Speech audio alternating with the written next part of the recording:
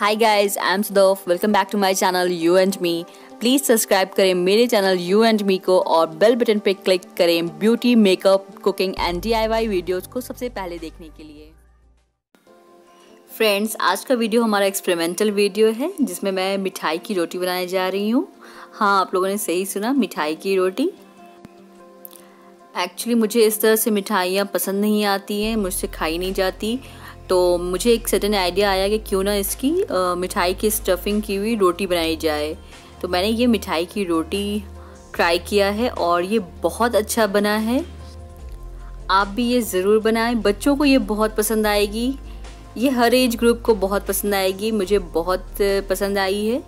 So let's get in the video मिठाई की रोटी बनाने के लिए मैंने यहाँ पर तीन चार मिठाई ली है। फोर पीस मिठाई ली है। इस तरह की ड्राई मिठाई लें आप। ये नहीं हो तो कोई भी ड्राई मिठाई आप ले सकते हैं। नेक्स्ट मैंने गुंधा हुआ आटा, ड्राई आटा, चकला और बेलन लिया है। दूसरी तरफ़ मैंने गैस को गैस पे तवा रख के उसे ऑन कर लिया है। और इधर इन मिठाइयों पे जो भी ड्राई फ्रूट्स लगे हुए हैं, उन्हें हमें निकाल लेना है। मैं इस तरह से सारी मिठाइयों पे जो भी ड्राई फ्रूट्स लगे हुए हैं, उसे निकाल लूँगी। और अब मैं नाइफ़ की हेल्प से इस ड्राई फ्रूट्स को महीन कट कर लूँगी स्मॉल पीसेस में। आप और भी अगर एडिशनल ड्राई फ्रूट्स डालना चाहते हैं तो थोड़ा बहुत डाल सकते हैं। और हमें इस तरह से सारी मिठाइयों को क्रश कर लेना है। और मैं यहाँ पे सारी मिठाइयों को क्रश कर रही हूँ और ड्राई फ्रूट्स को जो हमने कट किया था उसे भी अच्छे से मिक्स कर लूँगी। हमें मिठाइयों को अच्छे से ब्रेक करना है, अच्छे से क्रश करना है, कोई गांठे नहीं रहे, बिल्कुल स्मूथ हो जाए सारा जो मिक्सचर हम तैयार कर रहे हैं। बिल्कुल अच्छे से हमें अपने हाथों की हेल्प से एक एक टुकड़े को अच्छे से ब्रेक करना है इस तरह से। आप देख रहे हैं। मिठाई का जो मिक्सचर हमें रेडी करना था वो रेडी हो चुका है। आइए रोटी बनाना शुरू करते हैं। रोटी बनाने के लिए सबसे पहले मैं यहाँ पे आटे की लोई ले रही हूँ। एक अमरूद की साइज़ का मैं लोई ले रही हूँ। और इसे अच्छे से हमें गोल कर लेना है। इस तरह से।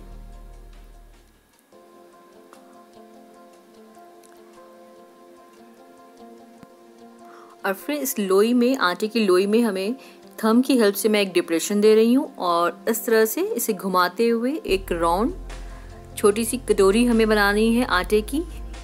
और आप देख सकते हैं मैं इस तरह से घुमाते घुमाते बिल्कुल एक छोटी सी कटोरी का शेप ले लिया है हमारी लोई ने और मैं इसमें अब ये मिठाई स्टफ़ करूँगी, जो मिठाई का मिक्सचर हमने रेडी किया था।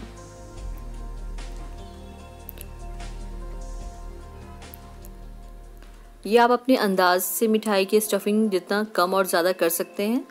इतना ही ज़्यादा नहीं डालें, नहीं तो हमारी रोटी फट जाएगी। इतना ही डालें कि जितनी लोई और आटे की कैपेसिटी हो। और इस तरह से घुमाते हुए हमें उसे पैक कर लेना है। और फिर मैं इसे अपने दोनों हाथों की हेल्प से थोड़ा सा प्रेस कर लूँगी। प्रेस करने के बाद हमें इसे आटे में, ड्राई आटा जो है मैंने लिया है, उसमें डिप करूँगी। और अपनी हाथों की हेल्प से, इस तरह से दबाते हुए से थोड़ा सा प्रेस करते हुए एक सर्कल राउंड शेप दे दूँगी। मैं इसे हाथ से ही थोड़ा प्रेस करते हुए एक राउंड शेप दे दिया है ताकि रोटी हमारी फटे नहीं। इस तरह से। और अब मैं बेलने की, बेलन की हेल्प से रोटी बनाना शुरू करूँगी। हल्के हाथों से हमें प्रेस करना है। एक राउंड सर्कल बना लेना है रोटी के शेप में। इस तरह से। ज़्यादा प्रेशर नहीं अप्लाई करें इसे। इस पर नहीं तो हमारी, जो भी हमारी स्टफिंग है वो बाहर आ जाएगी। हल्के हाथों से हमें बनाना ही है रोटी। और इस तरह से मैंने राउंड शेप में बिल्कुल बना ली है और रोटी हमारी बिल्कुल रेडी है। तवा हमारा ऑलरेडी गर्म है और जो मैंने रोटी बनाई है, अब मैं तवे पे डाल दूँगी। रोटी डालने के बाद मैं इस तरह से 15 से 20 सेकंड तक के लिए वेट करूँगी। जैसे ही हमें थोड़ा सा हल्का सा उभार दिखने लगे रोटी पे तो हमें रोटी दूसरी तरफ़ पलट देनी है। और दूसरी तरफ़ भी हमें 20 से 25 सेकंड तक के लिए इसी तरह रोटी को रखना है बेक करना है। 20 से 25 मिनट जब हो जाए हमारे और रोटी हमारी एक साइड से बेक हो जाए, फिर हमें इस पर घी डालना है।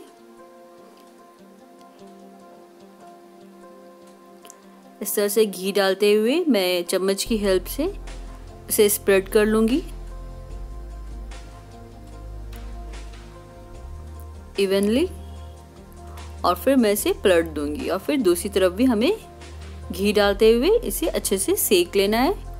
और तलते हुए निकाल लेनी है और हमारी रोटी बिल्कुल रेडी है।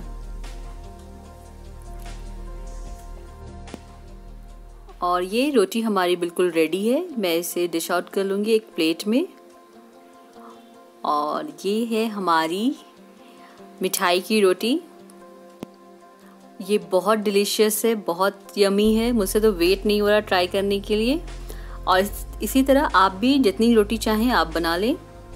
और मैं इसे ट्राई करके देखती हूँ पहले। और ये बहुत सीरियसली गैस ये बहुत टेस्टी बना है। और इसी तरह आप जितनी चाहें उतनी रोटी बना लें। और ये बच्चों को बहुत पसंद आएगी, मुझसे भी ये, मुझे भी ये बहुत पसंद आई है। और मुझसे यूँ मिठाई खाई नहीं जाती है, लेकिन इस तरह से स्टफ़ करके मैं ये रोटी ज़रूर खाती हूँ, मुझे बहुत अच्छी लगती है। आप भी अपने घरों पे ट्राई करें। और मुझे बताएँ कि आपको ये एक्सपेरिमेंट कैसा लगा। अगर आपको मेरा ये वीडियो पसंद आया हो तो प्लीज़ मेरे वीडियो को लाइक करें, मेरे चैनल को सब्सक्राइब करें। Thank you for watching.